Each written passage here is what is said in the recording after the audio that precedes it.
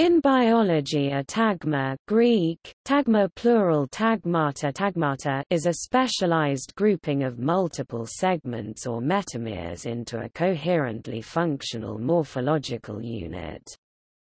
Familiar examples are the head, the thorax, and the abdomen of insects. The segments within a tagma may be either fused such as in the head of an insect or so jointed as to be independently movable such as in the abdomen of most insects. Usually the term is taken to refer to tagmata in the morphology of members of the phylum Arthropoda, but it applies equally validly in other phyla, such as the chordata.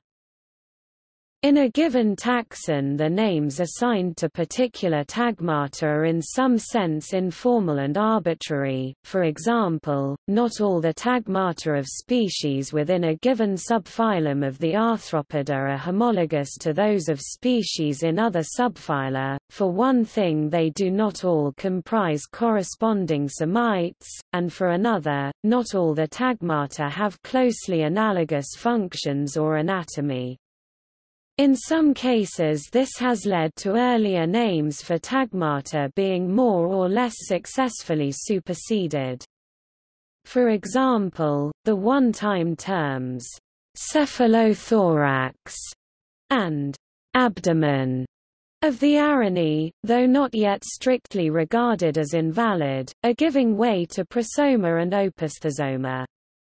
The latter two terms carry less of a suggestion of homology with the significantly different tagmata of insects.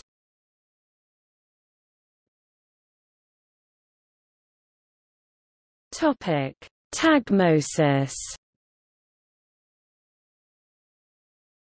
The development of distinct tagmata is believed to be a feature of the evolution of segmented animals, especially arthropods. In the ancestral arthropod, the body was made up of repeated segments, each with similar internal organs and appendages. One evolutionary trend is the grouping together of some segments into larger units, the tagmata.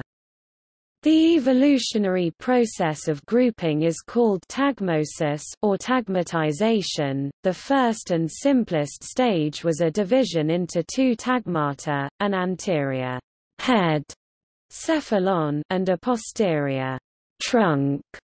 The head contained the brain and carried sensory and feeding appendages. The trunk bore the appendages responsible for locomotion and respiration gills in aquatic species. In almost all modern arthropods, the trunk is further divided into a thorax and an abdomen, with the thorax bearing the main locomotory appendages.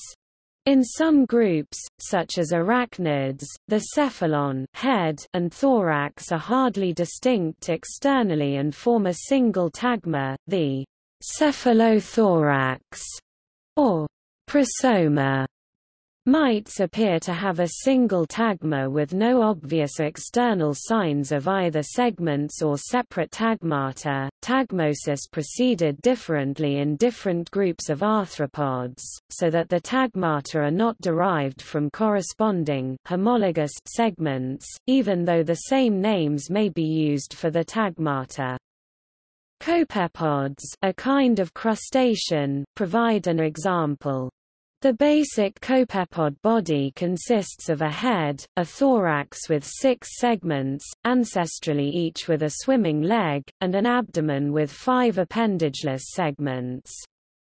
Except in parasitic species, the body is divided functionally into two tagmata, that may be called a prosome and a urosome with an articulation between them allowing the body to flex. Different groups of copepods have the articulation at different places. In the calanoida, the articulation is between the thoracic and abdominal segments, so that the boundary between the prosome and urosome corresponds to the boundary between thoracic and abdominal segments.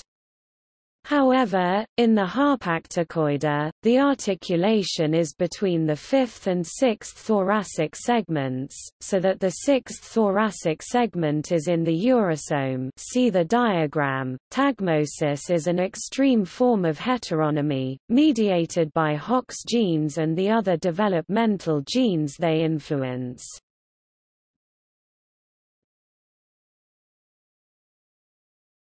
Topic Terminology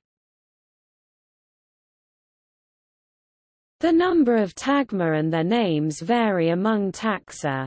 For example, the extinct trilobites had three tagmata, the cephalon meaning head, the thorax literally meaning chest, but in this application referring to the mid-portion of the body, and the pygidium meaning rump. The hexapoda, including insects, also have three tagmata, usually termed the head, thorax, and abdomen. The bodies of many arachnids, such as spiders, have two tagmata, as do the bodies of some crustaceans. In both groups, the anterior tagma may be called the cephalothorax, meaning head plus chest, or the prosoma or prosome, meaning fore-part of body. The posterior tagma may be called the abdomen. In those arachnids that have two tagmata, the abdomen is also called the opisthosoma.